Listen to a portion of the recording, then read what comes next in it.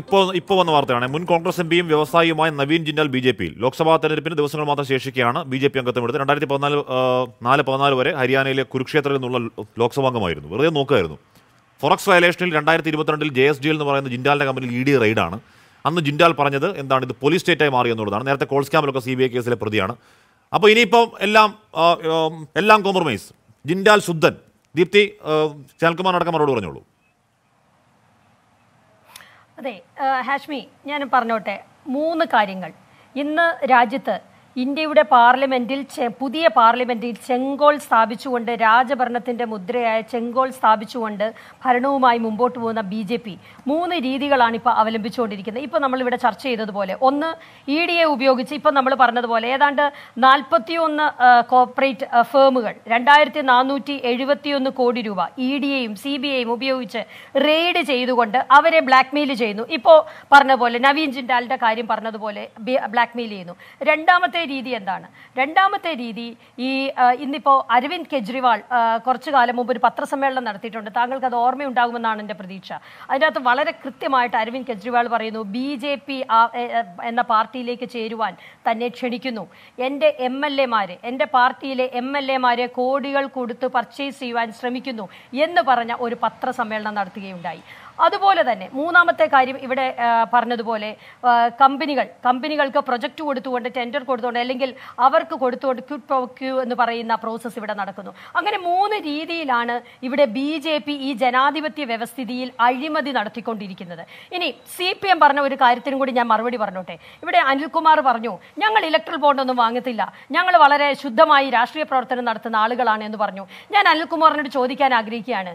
നിങ്ങളുടെ രാഷ്ട്രീയ പ്രസ്ഥാനത്തിന്റെ ആസ്തി എത്രയാണ് കേരളം മാത്രം ഭരിക്കുന്ന സി പി എം എന്ന രാഷ്ട്രീയ പ്രസ്ഥാനം കോൺഗ്രസിനേക്കാൾ അധികം സാമ്പത്തിക ശേഷിയുള്ള ഒരു രാഷ്ട്രീയ പ്രസ്ഥാനമായി എങ്ങനെയാണ് വളർന്നത്? ഇവിടെ രമേശ് ചെന്നിത്തലയുടെ കാര്യം അദ്ദേഹം കർത്തയുടെ കാര്യമൊക്കെ ചൂണ്ടിക്കാണിക്കുന്നതായിട്ട്. ശരിയാണ് അനിൽകുമാർ ഞങ്ങൾ പിരിക്കുന്നുണ്ട് കോൺഗ്രസ്സുകാർ പിരിക്കുന്നുണ്ട്. അങ്ങനെ തന്നെയാണ് എല്ലാ രാഷ്ട്രീയ പ്രസ്ഥാനങ്ങളും തെരഞ്ഞെടുപ്പിനെ നേരിടുന്നതും അതുപോലെ തന്നെ രാഷ്ട്രീയ പ്രവർത്തനം മുമ്പോട്ട് കൊണ്ടുപോകുന്നതും പിരിവ് നടത്തിക്കൊണ്ട് തന്നെയാണ്. എന്നാൽ നിങ്ങൾ നടത്തുന്ന പോലുള്ള പിരിവ് ഞങ്ങൾ ആരും നടത്താറില്ല എന്നുള്ളതിന്റെ ഏറ്റവും വലിയ തെളിവാണ് ഇപ്പോൾ നിങ്ങൾക്കുള്ള സാമ്പത്തിക സ്രോതസ് എന്ന് പറയുന്നത് ഇപ്പം നിങ്ങൾക്കുള്ള നിങ്ങളുടെ അസറ്റ് എന്ന് പറയുന്നത്. എങ്ങനെയാണ് ഇത്ര കോടിക്കണക്കിന് രൂപയുടെ അസറ്റ് നിങ്ങൾക്കുണ്ടായത്?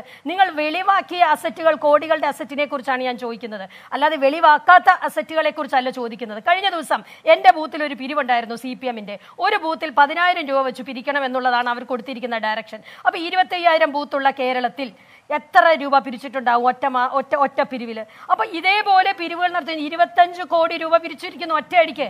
അതുപോലെ തന്നെ ഞാൻ പറയട്ടെ ഊരാളുകൾ പോലുള്ള സൊസൈറ്റികൾ. ഇവിടെ നമ്മളെ ബി ജെ പിയെ കുറിച്ച് പറയുന്നതിന് സമാനമായ ഒരു കാര്യമാണ് ഇവർ ചെയ്തുകൊണ്ടിരിക്കുന്നത്. ഊരാളുകൾ എന്ന് പറയുന്ന സൊസൈറ്റിക്ക് ടെൻഡർ പോലും വിളിക്കാതെ എത്രയോ പ്രൊജക്റ്റുകൾ കൊടുത്തിരിക്കുന്നു. നമ്മൾ ചർച്ച ചെയ്യപ്പെട്ടിട്ടുള്ള ഒരു കാര്യമാണ്. അപ്പോൾ വളരെ ശാസ്ത്രീയമായി വളരെ ശാസ്ത്രീയമായി പണം എങ്ങനെയാണ് ഉണ്ടാക്കേണ്ടത് അഴിമതി എങ്ങനെയാണ് നടത്തേണ്ടത് എന്നുള്ളത് സി പി എമ്മും ബി ജെ പിയും അതിനകത്ത് ഒരുപോലെയാണ് മുമ്പോട്ട് പോകുന്നത്. എന്താണ് അനിൽകുമാർ കോൺഗ്രസിനോട് പറയുന്നത്? ഇവരുടെ കേന്ദ്ര കമ്മിറ്റി അംഗം എ കെ ബാലൻ പറഞ്ഞല്ലോ അത് താങ്കൾ അതൊക്കെ ഒന്ന് ചിന്തിച്ചു നോക്കണം. എന്തിനു വേണ്ടിയിട്ടാണ് ഈ തെരഞ്ഞെടുപ്പിൽ സി പി എം മത്സരിക്കുന്നത്?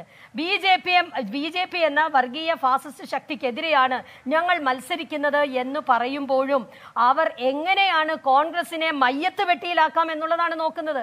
കോൺഗ്രസ് എന്ന് പറയുന്ന ജനാധിപത്യ പ്രസ്ഥാനത്തെ ഇല്ലാതാക്കുവാൻ സി പി എം ശ്രമിക്കുമ്പോൾ എ കെ ബാലൻ പറഞ്ഞതുപോലെ കോൺഗ്രസിന്റെ മയ്യത്ത് കാണും അതിൽ ഞങ്ങൾ സന്തോഷിക്കും എന്ന് പറയുമ്പോൾ ആരാണ് ഇവിടെ ജയിക്കുന്നത്? ഇവിടെ ജയിക്കാൻ പോകുന്നത് രാജ്യത്ത് ബി ജെ പി എന്ന വർഗീയ ഫാസിസ്റ്റ് ശക്തിയാണ്. അപ്പോൾ എന്തിനു വേണ്ടിയാണ് സി പി എം മത്സരിക്കുന്നത്? സി പി എമ്മിന് അങ്ങനെ പ്രത്യേകിച്ച് ലക്ഷ്യമൊന്നുമില്ല. സി എ കെ ബാലൻ പറഞ്ഞതുപോലെ ഈനാം പേച്ചിയും മരപ്പട്ടിയും ഒക്കെ ചിഹ്നമായി ഭാവിയിൽ കിട്ടരുത്. ഈനാം പേച്ചി എന്ന ചിഹ്നം കിട്ടാതിരിക്കാൻ വേണ്ടിയുള്ള മത്സരമാണ് കേരളത്തിൽ ഇന്ന് സി പി എം ശരി, പള്ളി പറഞ്ഞിട്ടൊന്നും കാര്യമില്ല. ഒരു മിനിറ്റ്. എന്നോട് അത് നമ്മുടെ വിഷയം അതിന്റെ മറുപടിയിലേക്ക് പോകേണ്ടി വരും. അങ്ങനെ നമുക്ക് അതിനുള്ള സമയമില്ലാത്തതുകൊണ്ടാണ്. ഇവിടെ- നിരവധി ഇവിടെ ഇവിടെ ബി ജെ പി ചെയ്യുന്നത് ഇതുപോലുള്ള ഇതുപോലെ പാർട്ടി വിട്ടുപോകും നമ്മൾ കഴിഞ്ഞ ദിവസം ശ്രീ രാഹുൽ ഗാന്ധി ഭാരത് ജോഡോ യാത്രയിൽ പറഞ്ഞത് കേട്ടല്ലോ. മഹാരാഷ്ട്രയിലെ ഒരു നേതാവ് പാർട്ടി വിട്ടുപോകുമ്പോൾ എന്താണ് പറഞ്ഞത്? സോണിയാഗാന്ധിയുടെ അടുത്ത് എന്ന് പറഞ്ഞു. എനിക്ക് വേറെ രക്ഷയില്ല എനിക്ക് ജയിലിൽ കിടക്കാൻ വയ്യ എനിക്ക് ജയിലിൽ കിടക്കാൻ വയ്യ എന്ന് പറഞ്ഞ അദ്ദേഹം കരയുകയാണ്. ഇതാണ് ഈ രാജ്യത്തെ ജനാധിപത്യ വ്യവസ്ഥിതി ഇന്ന് നടക്കുന്നത്. ഫാസിസം നടത്തുന്ന ഒരു രാഷ്ട്രീയ പ്രസ്ഥാനത്തിനോട് പണി ചെയ്തിരിക്കുന്നത് എന്തുകൊണ്ടാണ് എന്ന് ചോദ്യം കൂടെ അവിടെ ഉണ്ട് പൊട്ടജാനങ്ങളിലേക്ക് എത്താം. അഴിമതി നടത്തിയാൽ ജയിലിൽ കിടക്കണം ഹാഷ്മി. അതല്ല. അത്തരത്തിൽ ഭീഷണിപ്പെടുത്തിക്കൊണ്ട് ഇ ഡി ഉപയോഗിച്ച് ഭീഷണിപ്പെടുത്തിക്കൊണ്ട് മുമ്പോട്ട് പോവുകയാണ്.